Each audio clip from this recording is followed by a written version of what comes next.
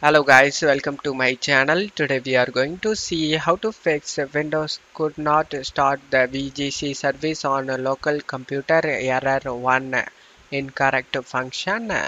Let's fix it guys. Just click on OK and just close stuff here and go to search menu and type control panel. Click on open it.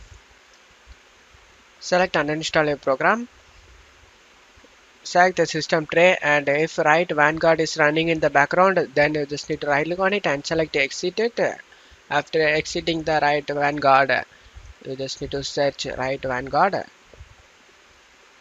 Just right click on the Riot Vanguard and select uninstall and select yes. Select yes again. Just press in keyboard F5 to refresh this page. As you can see the Riot Vanguard is uh, uninstalled. Just close stuff here now open up a Riot Client. Select the Valorant. Select the update option to install Riot Vanguard. After getting installed done it requires to restart a PC but you don't need to restart a PC now you just need to go to search menu and type services. Click on open it.